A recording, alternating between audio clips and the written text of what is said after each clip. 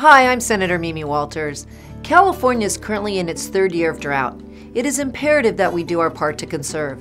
Some tips to consider include setting a timer to water your lawn in the early morning before sunrise, or in the evenings after sunset to minimize evaporation, and report any broken or misaligned sprinklers around the city.